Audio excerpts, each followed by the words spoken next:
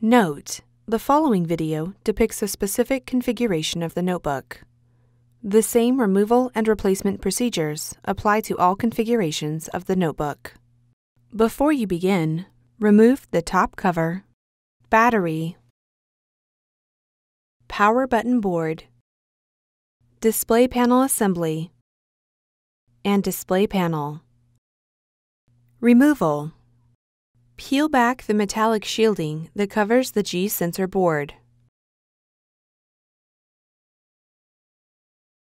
Peel back the retention tape and use minimal force to lift the locking bar up on the webcam cable ZIF connector and disconnect the webcam cable from the G-sensor board. Caution: Use care to prevent damaging the ZIF connector and cable. Remove the G-sensor board from the adhesive that secures it to the display enclosure.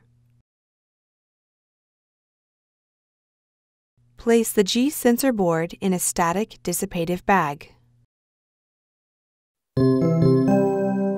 Replacement Remove the G-sensor board from the static dissipative bag.